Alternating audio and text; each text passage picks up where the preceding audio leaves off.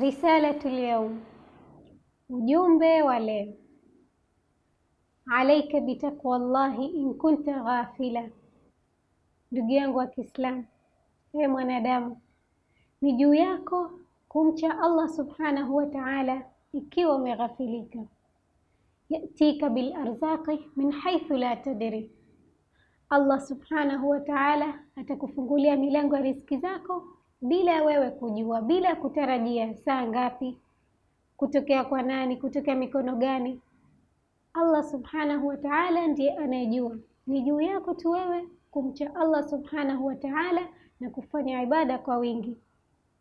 Fakaifa takhafu alfaqra wallahu raziqun, na iweje ndugu yangu wa Kiislamu, vipi wewe uhofie ufukara, kwani Allah subhanahu wa ta'ala peke yake ndiyo mtoaji wa riziki.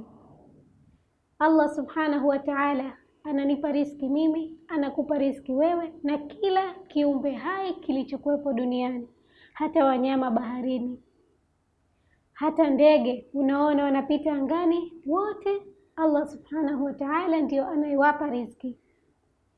Iweje wewe ndugu yangu ikushughulishe dunia kwa kutafuta riziki mpaka unamsahau mtoaji wa riziki?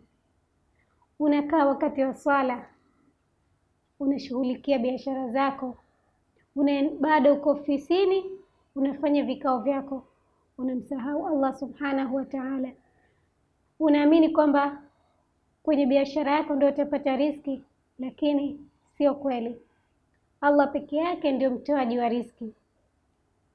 waman dhanna anna rizqa yati biquwatihi ma akala al-usfura shay'an ma'a na yoyote ule ambaye atadhani atafikiria kwamba riziki inapatikana kwa nguvu, riziki inapatikana kwa akili, riziki inapatikana kwa cheo, basi wasingekula, wasingepata riziki yoyote. Wale wadudu wadogo wadogo, sisimizi, nzi, wadogo wadogo, wadudu tunawadharau, wasingekuwa na riziki kwa sababu hawana nguvu, lakini wote wanapata riziki na wanaendelea kuishi.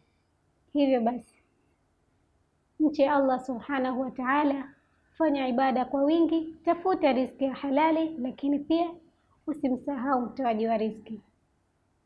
Ili uendelee kupata taarifa na vipindi vyetu mbalimbali, usisahau kusubscribe YouTube chaneli yetu Al-Fatah TV Online. Alfatah TV Online, dira ya umma.